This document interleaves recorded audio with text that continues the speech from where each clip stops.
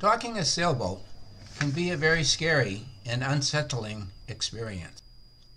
You may feel like an actor on the stage and that the whole marina is your audience.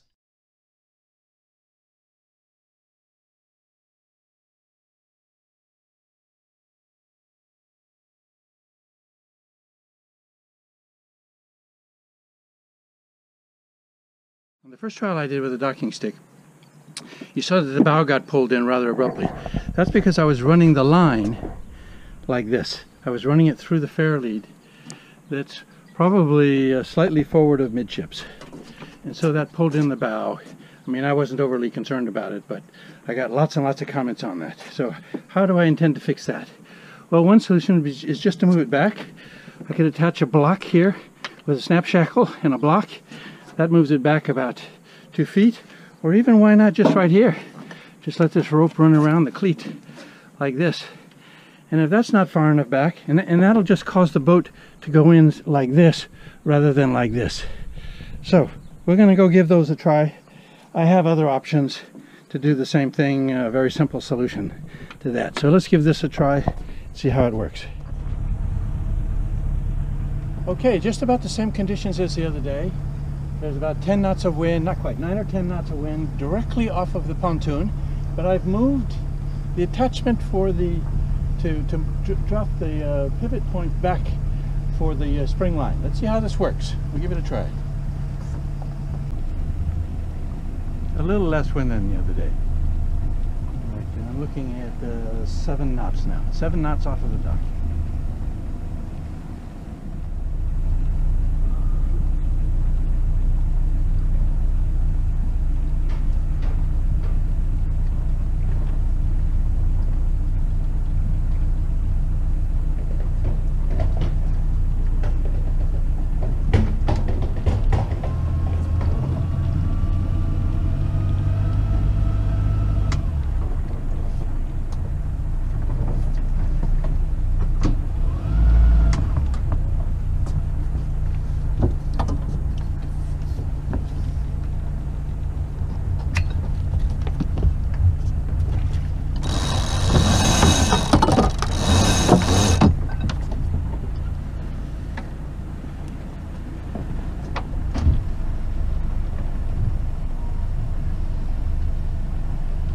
Oh, dear.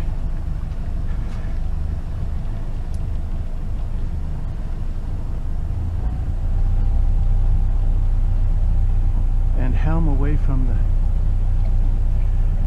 So the helm is turned to port. And it just pulls it right back in, parallel.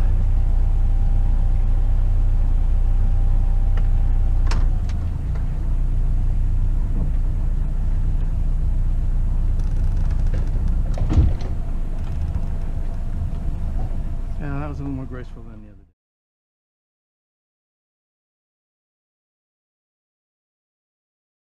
day. That you can dock your boat gracefully and with style, and will provide you the tools and techniques you need to know in order to do so.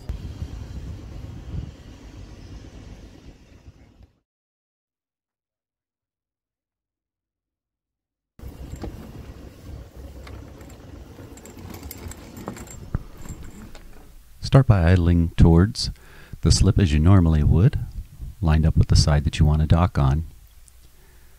And then slip the loop of the spring line over the tip of your boat hook. The other end should be girth hitched to the midship cleat as I have pointed out in the video. You want to be going as slowly as you can here, and then as you approach the cleat, simply reach out and slip the loop of the spring line over the cleat, and then turn the outboard tiller hard against the dock. The spring line will stop the boat before it hits the end of the slip, and the thrust of the outboard will push the stern of the boat towards the dock until it stops parallel.